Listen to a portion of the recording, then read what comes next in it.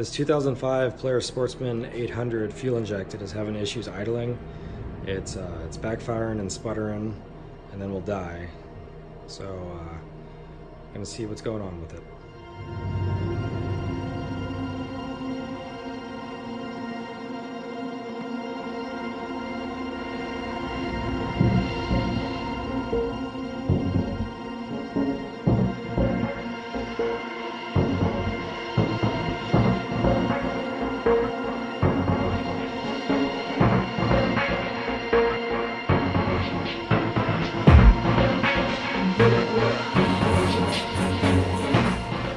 This bike calls for 39 psi at the fuel rail. So let's see what it's getting.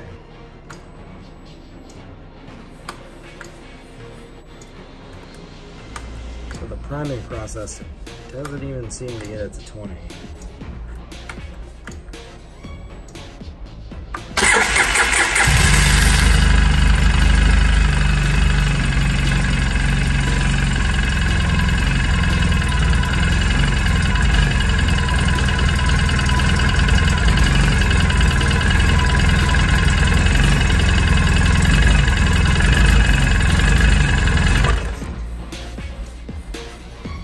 So either a fuel flow problem or the pump is bad. Since the easiest is a fuel flow problem, we're gonna replace the fuel filter, which is right under there.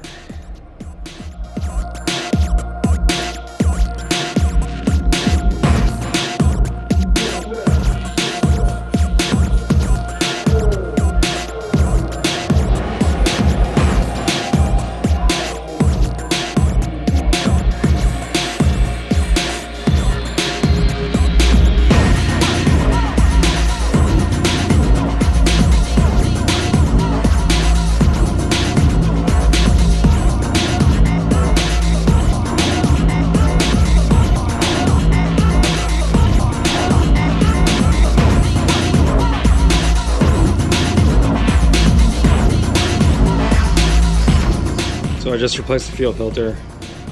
Let's see what pressure we get.